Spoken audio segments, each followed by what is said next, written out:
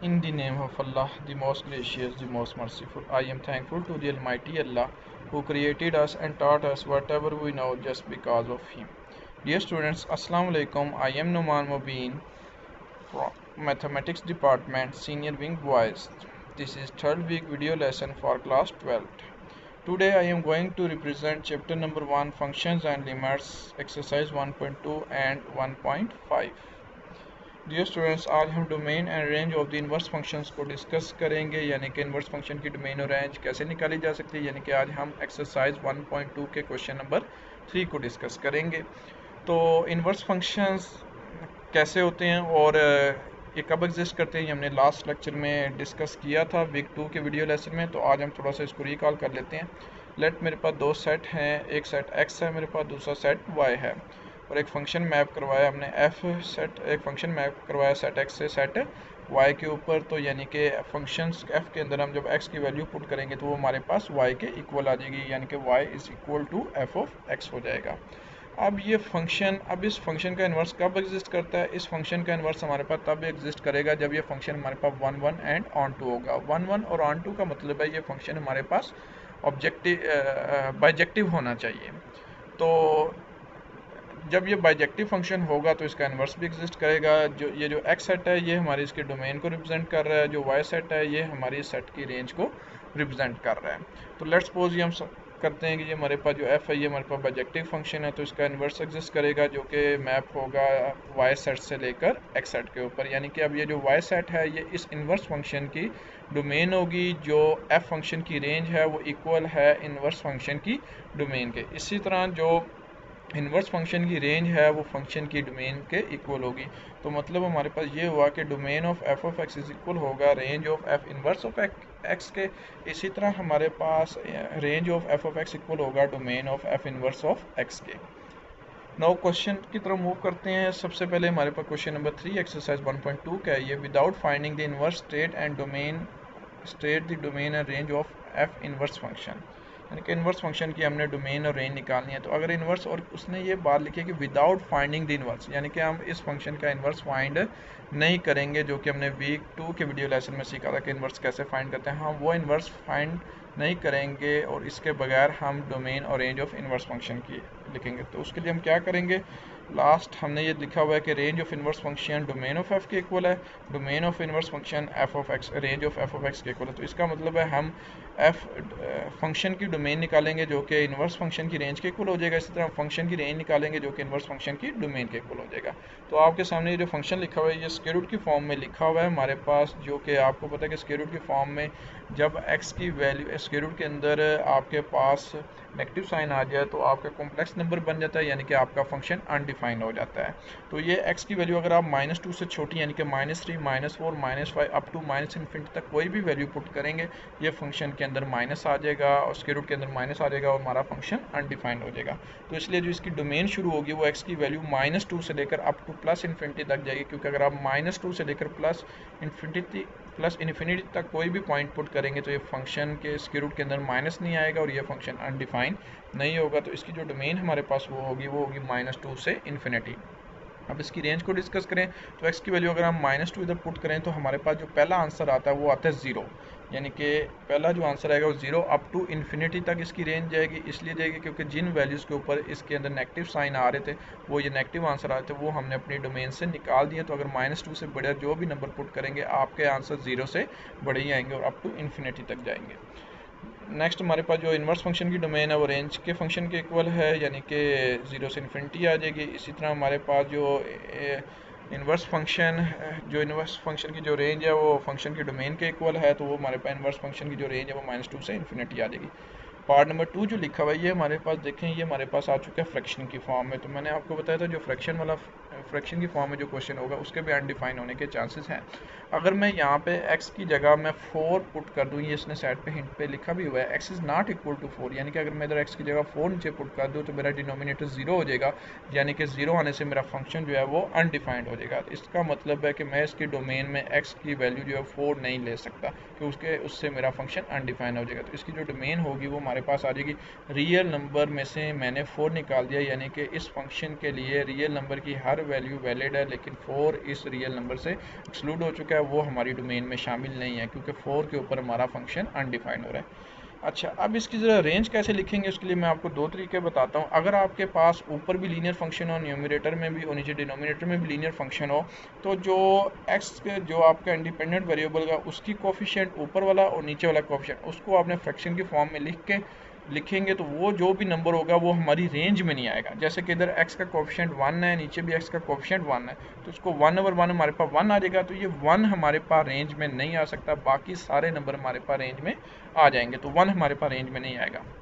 दूसरा ये कैसे, दूसरा वन कैसे नहीं आएगा, उसको गैस करने का तरीका ये है कि देखिए, ऊपर और नीचे दोनों लीनियर फ़ंक्शन सेम नहीं है। आप x की वैल्यू ऊपर पुट करेंगे और वही नीचे जब पुट करेंगे तो ऊपर अलग आंसर आएगा, नीचे अलग आंसर आएगा। यानी कि सेम आंसर नहीं आएँगे तो कैंसिल होने के बाद आंसर आपके पास वन नहीं आएगा। जैसे कि मैं एग्ज़ाम्पल फॉर एग्ज़ाम्पल मैं एक्स की वैल्यू पर टू पुट करता हूँ तो मेरे पास माइनस वन आ जाएगा टू माइनस वन वन आ जाएगा। नीचे एक्स की वैल्यू माइनस टू पुट करूँगा तो मेरे पास माइनस टू आ जाएगा।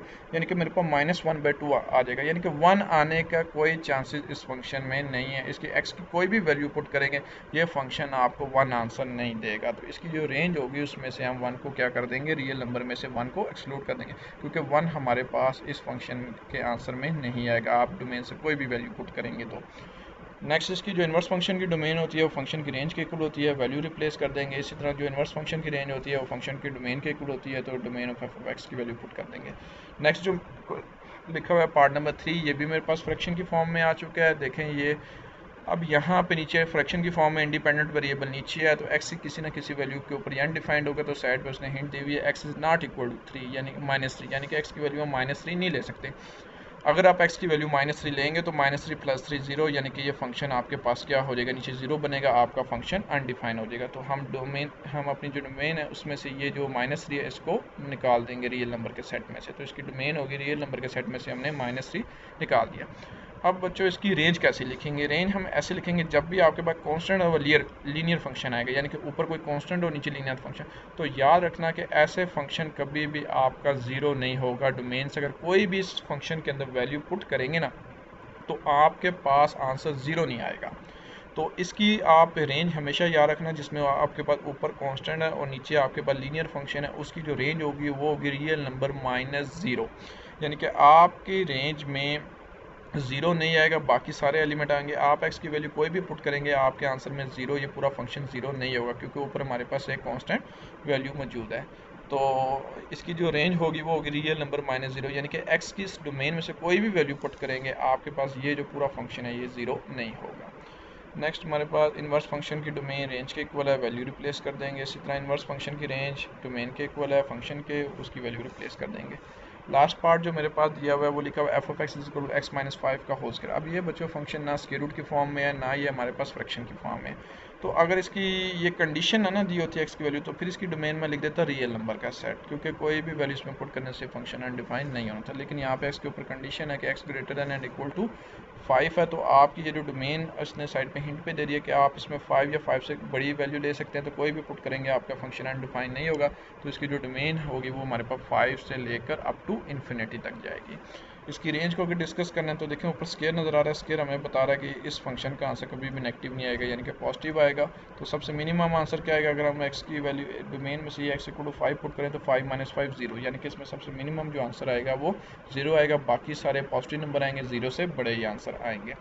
तो नेक्स्ट हमारे पास इन्वर्स फ़ंक्शन की डोमेन रेंज के इक्वल है, इसी तरह हमारे पास वैल्यू रिप्लेस कर देंगे और इसी तरह इन्वर्स फ़ंक्शन की रेंज डोमेन ऑफ़ एफ़ के इक्वल है तो डोमेन ऑफ़ एफ़ की वैल्यू रिप्लेस कर देंगे। इस तरह हम इन्वर्स फ़ंक्शन और इन्वर्स फ़ंक्शन की डोमेन और रेंज को फाइंड करेंगे। नेक्स्ट जो हम मूव करेंगे एक्सरसाइज 1.5 को, आज हम उसका क्वेश्चन नंबर वन को डिस्कस करेंगे। तो मैंने ऊपर एक टॉपिक लिखा है कि graph of the functions and relation तो बच्चे सोच रहे होंगे कि शुरू से हम फ़ंक्शंस के ग्राफ ड्रा करते आ रहे हैं तो ये रिलेशन कैसे आ गया? तो ये चीज़ मैं आगे लेक्चर में एक्सप्लेन करता हूँ। सबसे पहले हम ग्राफ की डेफिनेशन को देख लेते हैं। कहता है the graph of a function F कहता है, जो फ़ंक्शन का ग्राफ होता है, वो क्या होता है? Basically the set of points होते हैं। वो आपके पास क्या होते हैं? सेट ऑफ़ पॉइंट्स होते हैं। और वो किस तरह के होते हैं? वो इस तरह के होते हैं। Y is equal to F of X where x is the domain of है और ये जो x होती है, ये फ़ंक्शन की क्या होती है? डोमेन यानी कि जो सेट ऑफ़ पॉइंट होते हैं, आप फ़ंक्शन के अंदर x की वैल्यू रिप्लेस करते जाते हैं तो आपके पास y की वैल्यू आती जाती है। तो ये इस तरह के आपके पास सेट ऑफ़ पॉइंट होते हैं। उनको जब ज्वाइन करते हैं तो हमारे पास ग्राफ बनता है। अब ये जो y को टू एफ़ ओ एक्स के है, ये हमारे पास एक्सप्लिसिट फ़ंक्शन है। यानी कि ये एक्सप्लिसिट फ़ंक्शन ऐसे फ़ंक्शन होते हैं जिस जिसमें हम x और y को इजीली सेपरेट कर सकते हैं। हम x और y को इजीली सेपरेट कर सकते हैं। y हम वहाँ से निकाल सकते हैं। तो इसको हम एक्सप्लिसिट फ़ंक्शन कहते हैं। तो लास्ट टाइम आपने वीक वन के वीडियो लेसन में फ़ंक्शंस को इन डिटेल डिस्कस कर चुके हैं। फ़ंक्शन क्या होते हैं? रिलेशन कौन सी चीज़ रिलेशन होती है? रिलेशन अगर फ़ंक्शन ना हो तो फिर वो रिलेशन कब बनते हैं? ये आप फ़र्स्ट लेक्चर में वीक वन की वीडियो लेसन में इन डिटेल डिस्कस कर चुके हैं। थोड़ा सा भी हम ग्राफ की मदद से देखते हैं कि हमें ग्राफ की मदद से कैसे पता लगेगा कि क्योंकि हम ग्राफ को डिस्कस कर रहे हैं तो हम देखते हैं कि ग्राफ की मदद से हमें कैसे पता लगेगा कि ये जो ग्राफ है, ये फ़ंक्शन का है या हमारे पास रिलेशन का है। तो इसके लिए हमारे पास दो आपने सुना होगा, एक हॉरिजेंटल लाइन टेस्ट होता है और एक हमारे पास वर्टिकल लाइन टेस्ट होता है। वर्टिकल लाइन टेस्ट का मतलब ये है कि आप जब किसी भी ग्राफ के ऊपर आप एक वर्टिकल लाइन ड्रा करेंगे, जब वो, अगर वो वर्टिकल लाइन उस ग्राफ के को एक पॉइंट पे कट करेगी तो इसका मतलब है कि वो जो ग्राफ है वो फ़ंक्शन का है। अगर वो एक से ज़्यादा पॉइंट पे उस ग्राफ को कट करेगी वर्टिकल लाइन तो इसका मतलब है कि वो जो ग्राफ है वो हमारे पास फ़ंक्शन का नहीं है, बल्कि वो रिलेशन का है। इसी तरह जो हॉरिजेंटल लाइन टेस्ट होता है, वो हमें क्या बताता है? हॉरिजेंटल लाइन टेस्ट है, इसी तरह हमें बताती है कि अगर वो किसी ग्राफ को एक सिंगल पॉइंट पे कट करेगी तो इसका मतलब है वो हमें उस उस ग्राफ का इन्वर्स के बारे में बताता है कि इस इस ग्राफ का जो इन्वर्स है, वो एग्जिस्ट कर रहा है। अगर वो हॉरिजेंटल लाइन एक से ज़्यादा पॉइंट को कट करेगी तो इसका मतलब है उस ग्राफ का इन्वर्स फ़ंक्शन एग्जिस्ट नहीं करता। तो दोबारा अपनी बात को रिपीट कर देता हूँ कि जो वर्टिकल लाइन टेस्ट होता है, यानी कि जो वर्टिकल लाइन होती है, अगर वो एक सिंगल पॉइंट पे किसी ग्राफ को कट करे तो वो हमारे पास जो ग्राफ होता है, वो फ़ंक्शन का होता है अदरवाइज़ वो हमारे पास किसका हो जाएगा? रिलेशन में चले जाएगा। और इसी तरह जो हॉरिजेंटल लाइन टेस्ट होता है, वो हमारे पास असल में हमें किसी फ़ंक्शन के एग्जिस्ट होने या ना होने का बताता है। अगर अगर वो जो हॉरिजेंटल लाइन है, वो किसी ग्राफ को एक सिंगल पॉइंट पे कट करेगी तो वो जो ग्राफ होगा, उसका इन्वर्स एग्जिस्ट करेगा। अगर वो एक, अगर वो लाइन एक से ज़्यादा पॉइंट पे कट करेगी ग्राफ एक से ज़्यादा पॉइंट पे टच करेगी तो इसका मतलब है कि उस उस ग्राफ का ग्राफ का इन्वर्स एग्जिस्ट नहीं करता। तो लेट मैंने एक ये ग्राफ लिए लेट सपोज़ करते हैं साइन एक्स का ग्राफ है, कुछ इस टाइप का आपके पास होता है।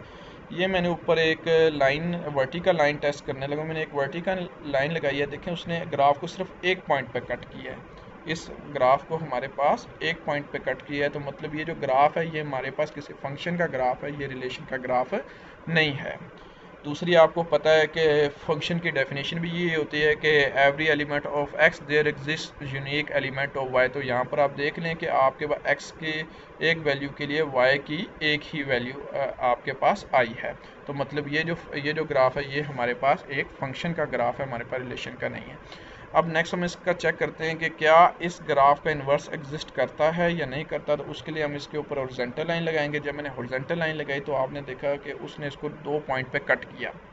यानी कि इसको कितने पॉइंट पे कट किया? दो पॉइंट पे कट किया। इसका मतलब है कि इस फ़ंक्शन का हमारे पास इन्वर्स एग्जिस्ट इस ग्राफ का हमारे पास इन्वर्स एग्जिस्ट नहीं करता। क्योंकि ये देखें y की एक वैल्यू के लिए मेरे पास x की दो वैल्यू आई हैं। कह देते हैं सी लेट सी वन और सी टू ये मेरे पास x की दो वैल्यू आई हैं, y की एक वैल्यू के लिए। क्योंकि फ़ंक्शन की डेफिनेशन क्या है कि हमारे पास जो, हमारे पास हर x की एक वैल्यू के लिए हमारे पास y की एक वैल्यू आती है। इसी तरह जब हम वापस जाते हैं इन्वर्स की बात करते हैं तो इसी तरह y की एक वैल्यू के लिए भी x की एक ही वैल्यू आनी चाहिए, जबकि यहाँ पे y की एक वैल्यू के लिए x की हमारे पास दो वैल्यू आई हैं, जिसकी वजह से इस ग्राफ का इन्वर्स एग्जिस्ट नहीं करेगा। नेक्स्ट अब हम थोड़ा सा डिस्कस करते हैं कि आप कहते होंगे कि हमने शुरू से फ़ंक्शंस को डिस्कस करें, उसी के ग्राफ बना रहे तो ये रिलेशन कहाँ से आ गया? ये स्टूडेंट जो हम ग्राफ बनाएँगे क्वेश्चन नंबर वन में, वहाँ पे हमने सर्कल का ग्राफ भी बनाना है पैराबोला का भी बनाना है इसी तरह एलिप्स का भी हमने ग्राफ बनाना है तो वो ऐसे ग्राफ हैं जो हमारे पास रिलेशंस के ग्राफ बनेंगे तो जिसकी वजह से मैंने यहाँ पे टॉपिक में, मैंने फ़ंक्शन के साथ लफज रिलेशन भी मैंने साथ लिखा है। जैसे कि ये जो हमारा क्वेश्चन नंबर वन ही है, उसमें हमने सर्कल का ग्राफ बनाना है तो देखते हैं ये जो सर्कल है, ये हमारे पास फ़ंक्शन है या रिलेशन है। मैंने यहाँ पर एक वर्टिकल लाइन लगाई।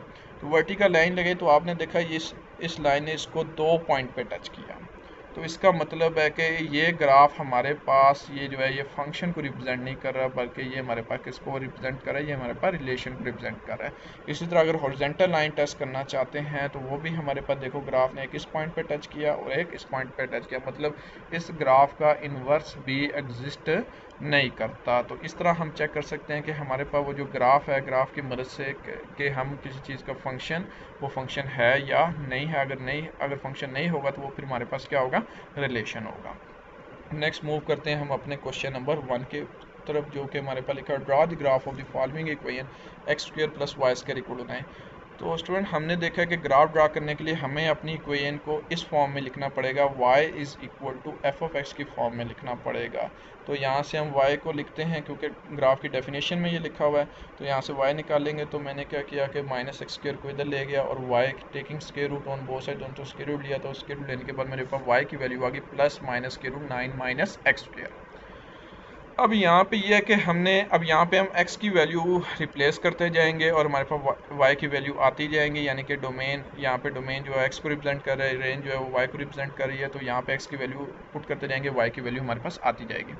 अब ये बात ये कि हम x की वैल्यू यहाँ पे कौन सी लेंगे कितनी वैल्यू लेंगे तो उसके लिए मैं, मैंने लिखा है टू फाइंड दी वैल्यू इसको हम एक बॉक्स में बंद कर दिया मैंने लिखा कि to find the value of X आप इसको पुट कर दें वाई को इक्वल टू ज़ीरो के। आप इस तरह भी इसकी वैल्यू निकाल सकते हैं। वाई को इक्वल ज़ीरो पुट करेंगे plus minus square nine minus X square आ गया। वैल्यू रिप्लेस दोनों तो स्केयर करेंगे स्केयर ऑन बहुत साइड लेंगे तो हमारे पास नाइन माइनस एक्स स्केयर यानी कि एक्स की वैल्यू मेरे पास आ जाएगी प्लस माइनस थ्री यानी कि एक्स की वैल्यू मैं लूँगा माइनस थ्री से लेकर प्लस थ्री तक। या या दूसरा आप, क्योंकि एक्स डोमेन को रिप्रेजेंट कर रहा है तो आप इसकी डोमेन देखें, आप इसकी अगर डोमेन देखेंगे तो डोमेन भी इसकी आपकी बनेगी माइनस थ्री से लेकर प्लस थ्री तक की बनेगी, क्योंकि अगर आप माइनस थ्री से लेकर प्लस थ्री तक कोई भी वैल्यू इसमें पुट करेंगे तो ये जो आपका फ़ंक्शन है, ये डिफाइंड रहेगा, ये अनडिफाइंड होगा। अगर आपने प्लस थ्री से बड़ी और माइनस थ्री से कोई भी छोटी वैल्यू पुट की तो ये फ़ंक्शन अनडिफाइन हो जाएगा। तो इसकी जो डोमेन अगर आप इसकी डोमेन से भी, अगर आप इस तरह नहीं वैल्यू निकालना चाहते तो आप इसकी डोमेन लिख के भी इसकी वैल्यू निकाल सकते हैं, जो कि इसकी वैल्यू बनेगी माइनस थ्री से लेकर प्लस थ्री तक। तो अब मैंने ये इसका, मैंने एक टेबल ड्रा कर दिया मैंने ये एक्स की वैल्यू माइनस थ्री से लेकर मैंने प्लस थ्री तक इसकी वैल्यू ली है। माइनस थ्री तक पुट करेंगे ज़ीरो आ जाएगा। माइनस टू पुट करेंगे फोर होगा। Nine minus four square root five आ जाएगा। उसको मैंने आगे स्क्र रूट फाइव को सॉल्व किया तो plus minus two point two ऐसे माइनस वन पुट करेंगे ज़ीरो इसमें पुट करेंगे। सारी वैल्यू इसमें आप पुट करेंगे तो ये मेरे पास वाई की वैल्यू आ जाएगी।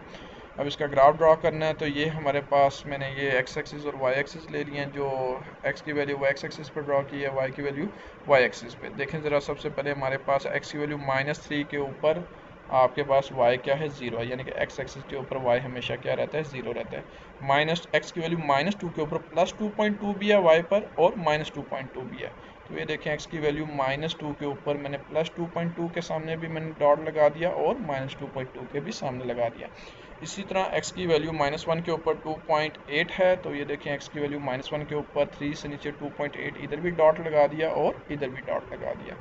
इसी तरह x की वैल्यू ज़ीरो के ऊपर, y की वैल्यू प्लस थ्री और माइनस थ्री या y एक्सिस के ऊपर x ज़ीरो होता है तो ये आपके पास आ जाएगा प्लस थ्री और माइनस थ्री तो इसी तरह x की वैल्यू वन के ऊपर आ जाएगा प्लस टू पॉइंट एट भी आ जाएगा और माइनस टू पॉइंट एट भी आ जाएगा तो वो हमारे पास आ जाएगा प्लस टू पॉइंट एट भी आ गया, ये मैंने लगा दिया और माइनस टू पॉइंट एट भी लगा दिया। इसी तरह एक्स की वैल्यू टू के ऊपर आ जाएगा, प्लस टू पॉइंट टू और माइनस टू पॉइंट टू भी आ जाएगा। ये एक्स की वैल्यू टू के ऊपर प्लस टू पॉइंट टू को लगा दिया और ये एक्स की वैल्यू टू के ऊपर माइनस टू पॉइंट टू के सामने सर्कल लगा दिया। और एक्स की वैल्यू थ्री के ऊपर वाई ज़ीरो है, ये वाई हमारे पास क्या हो जाएगा? ज़ीरो हो जाएगा, आपस में सारे सर्कल को ज्वाइन करेंगे तो हमारे पास एक सर्कल बन जाएगा। और ये जो सर्कल है, ये हमारे पास रिलेशन को रिप्रेजेंट करता है, यानी कि ये हमारे पास फ़ंक्शन नहीं है, क्योंकि ये देखें एक्स की एक वैल्यू के ऊपर वाई की दो वैल्यू आ रही हैं तो ये हमारी फ़ंक्शन की डेफिनेशन कोई फुलफिल नहीं कर रहा। तो नेक्स्ट चलते हैं, हमारे पास जो नेक्स्ट ग्राफ है draw the graph of the following equation तो इसको भी हम उसी फॉर्म बना लेंगे, जैसे कि y is equal f of x की फॉर्म में, सबसे पहले एक्सप्लिसिट फॉर्म में बनाएँगे। तो उसके लिए हम इसको क्या करते हैं कि 16 को मैंने एलसीएम लिया और फिर मैंने 16 को क्रॉस में जाके मल्टीप्लाई कर दूँगा। देन मैं एक्स स्क्र को तो जाके माइनस कर दूँगा। देन फोर को नीचे जाके डिवाइड कर दिया। तो मेरे पास आ गया 16 minus x square by four दोनों थ्रू उसके रूट लेंगे। तो मेरे पास वाई की वैल्यू आ जाएगी प्लस माइनस के root sixteen minus x square by two ये हमारे पास की वैल्यू आ गई। अब ये फ़ंक्शन भी अगर आप इसकी डोमेन अगर आप यहाँ से, अब ये देखिए, ये एक्स इसकी डोमेन को रिप्रेजेंट कर रहा है वाई इसकी रेंज को रिप्रेजेंट कर रहा है। ये भी हमारे पास क्या नाम है? फ़ंक्शन नहीं है, बल्कि रिलेशन है, क्योंकि एक्स की एक वैल्यू के ऊपर, अब वाई की दो वैल्यू आएँगी। अब इसकी डोमेन क्या होगी? इसकी डोमेन होगी माइनस फोर से लेकर प्लस फोर तक। अगर आप इसके इसमें माइनस फोर से लेकर प्लस फोर तक कोई भी वैल्यू पुट करेंगे, ये फ़ंक्शन हमारे पास क्या रहेगा? डिफाइन रहेगा, यानी कि ये फ़ंक्शन हमारे पास अनडिफाइन होगा। अगर आपने माइनस फोर से छोटी और फोर से बड़ी कोई भी वैल्यू पुट की तो ये हमारे फ़ंक्शन क्या हो जाएगा? अनडिफाइन हो जाएगा। दूसरा, आप इसकी वैल्यू किस तरह फाइंड कर सकते हैं? आप वाई को इक्वल ज़ीरो कर दें। वैल्यू रिप्लेस करें। आप taking square on both side करें। हमारे पास यहाँ से एक्स की वैल्यू आ जाएगी प्लस माइनस फोर या आप इसकी डोमेन भी लिख सकते हैं। यानी कि ये इसकी डोमेन ही निकली है कि जो प्लस फोर से लेकर माइनस फोर तक। और माइनस फोर से लेकर प्लस फोर तक हमारे पास निकली। नेक्स्ट इसका हम टेबल ड्रॉ करते हैं। तो टेबल के लिए मैंने ये इसकी वैल्यू ली है। एक्स की माइनस फोर से लेकर प्लस फोर तक। ये सारी वैल्यू मैंने उठा के बारी बारी इस इस फ़ंक्शन के अंदर पुट की हैं तो इस रिलेशन के अंदर पुट की हैं तो मेरे पास ये वाई की डिफरेंट वैल्यू आ गई हैं। तो नेक्स्ट इसका ग्राफ देखते हैं, कैसे ड्रा होता है? ये हमारे पास आ गया है एक्स एक्सिस और वाई एक्सिस है। तो सबसे पहले x की वैल्यू माइनस फोर के ऊपर y ज़ीरो है एक्स की वैल्यू माइनस फोर के ऊपर y हमारे पास क्या आ गया? ज़ीरो आ गया, यानी कि एक्स एक्सिस के ऊपर y ज़ीरो होता है। माइनस थ्री के ऊपर वन पॉइंट थ्री भी है और माइनस वन पॉइंट थ्री भी है। तो ये माइनस थ्री के ऊपर मैंने ये देखें वन पॉइंट थ्री के सामने सर्कल लगा दिया और माइनस थ्री के सामने मैंने माइनस वन पॉइंट थ्री के सामने मैंने डॉट लगा दिया। माइनस टू के ऊपर वन पॉइंट सेवन भी है और माइनस वन पॉइंट सेवन भी है। तो माइनस टू के ऊपर मैंने ये देखें थोड़ा सा ऊपर करके 1.7 इसके ऊपर लगा दिया और यहाँ पे 1.7 लगा दिया। फिर x की वैल्यू ये जो x की वैल्यू माइनस वन के ऊपर प्लस वन पॉइंट नाइन के सामने और माइनस वन पॉइंट नाइन के सामने, इसी तरह x की वैल्यू ज़ीरो के ऊपर प्लस टू और माइनस टू के ऊपर लगा दिया। इसी तरह आगे राइट साइड पे भी पॉजिटिव एक्स एक्सिस के ऊपर भी इसी तरह मैंने वैल्यू को प्लॉट कर दिया। फिर आपस में इन सारी वैल्यू को हम, इन सारे डॉट को आपस में ज्वाइन करेंगे।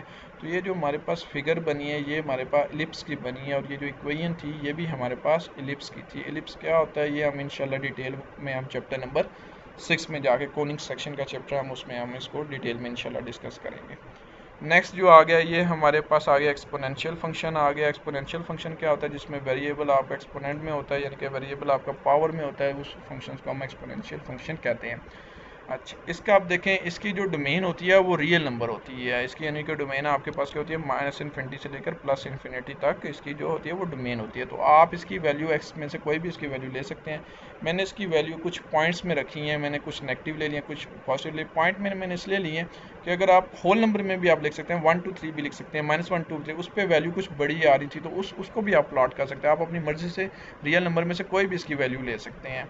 तो इसके लिए मैंने जो कुछ पॉइंट में रखी हैं ताकि मेरे पास आंसर छोटे ही आए तो इस वजह से मैंने पॉइंट में रखे। आप इसके लिए माइनस वन माइनस टू कुछ भी लेंगे, उसके ऊपर आपका सेवनटीन आंसर आएगा फिफ्टी फोर आएँगे, बड़े आंसर आएँगे तो उसको भी आप वाई एक्सिस के ऊपर ट्वेंटी फाइव का गैप या टेन टेन का गैप छोड़ के आप उसको भी प्लाट कर सकते हैं। तो एक्स की वैल्यू मैंने माइनस ज़ीरो पॉइंट थ्री से लेकर मैंने लिया इसकी प्लस ज़ीरो पॉइंट थ्री तक। माइनस ज़ीरो पॉइंट पुट किया। अब ये कैसे लिखते हैं? ये जो ई e आपके पास है कैलकुलेटर में आप अगर अल्फ़ा शिफ्ट अल्फ़ा प्रेस करेंगे। शिफ्ट अल्फ़ा या ई e का नीचे एक बटन होता है, उसको प्रेस करेंगे तो ये आपके पास ई e बन जाएगा और फिर उसकी पावर में आप यहाँ पे वैल्यू रिप्लेस करते जाएँगे।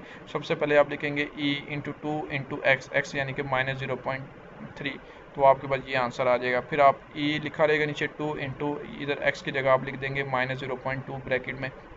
ये आंसर आ जाएगा। फिर e लिखा रहेगा टू इंटू ब्रैकेट में फिर लिखेंगे माइनस ज़ीरो पॉइंट वन आ जाएगा। फिर ए की पावर ये ज़ीरो ए की पावर ज़ीरो जो थी वो हमारे पास वन के इक्वल आ जाएगा। इसी तरह ये सारे जो वैल्यू हैं वाई की आपके पास निकल आएँगे।